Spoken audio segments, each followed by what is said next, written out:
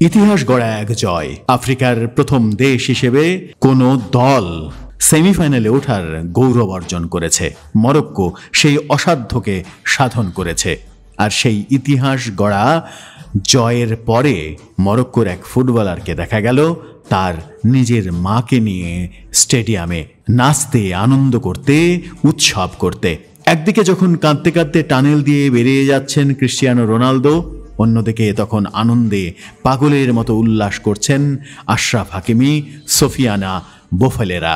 তাদের উদযাপনে ছিল রীতিমতো অন্যরকম একটা দৃশ্য, যেটাকে আপনি ভিন্ন রকম বলতে বাধ্য। কেউ সৃষ্টিকর্তার প্রতি কৃতজ্ঞতা জানাতে লুটিয়ে পড়ছেন সিজদাই কেউ বা টি শার্ট খুলে ঘুরিয়ে মারছেন উপরে। এরই মধ্যে সবার চোখ আটকে গেল সেই সোফিয়ান বাউফলের দিকে। কেননা সে উদযাপন করছে তার মায়ের সঙ্গে।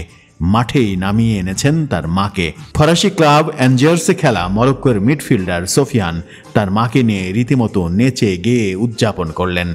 তার এই উদযাপন মুহূর্তেই ভাইরাল হয়ে গেল সামাজিক যোগাযোগ মাধ্যমে। রোনালদোর ছেড়ে যাওয়া মঞ্চে নতুন নায়ক হয়ে উঠলেন তিনি এবং তার মা এর আগেও প্রতিটা ম্যাচ জিতে মায়ের আদর পেয়েছেন মরক্কোর ফুটবলাররা। গ্যালারি থেকে ছেলেদের বুকে ডেকে নিয়ে কপালে চুমু এঁকে দিয়েছেন মায়েরা। স্পেন ম্যাচে এমনই এক উদযাপনে ভাইরাল হয়েছিলেন মরক্কোর ফুটবলার ও তার মা।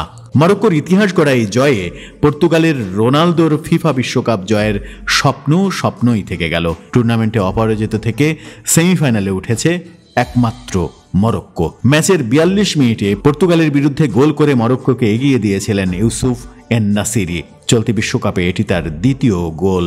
দ্বিতীয়ার্ধে পর্তুগাল সমতায় ফেরার বেশ কিছু সুযোগ পেলেও তাদের আশা ভেঙে দেন মরক্কোর গোলরক্ষক। শেষ পর্যন্ত এক শূন্য গোলে জিতে প্রথমবার ফিফা বিশ্বকাপের সেমিফাইনালের টিকিট পাকা করে নিয়েছে আফ্রিকার এই দেশটি। ফুটবল বিশ্বে এটি একটি ইতিহাস। এবার সেমিফাইনালে তাদের প্রতিপক্ষ, বর্তমান চ্যাম্পিয়ন ফ্রান্স। দেখা যাক ফ্রান্সকে মোকাবেলা করে আবারও মাকে নিয়ে উদযাপনের নতুন কোনো আবহ তৈরি করতে পারেন কিনা মরক্কোর ফুটবলাররা।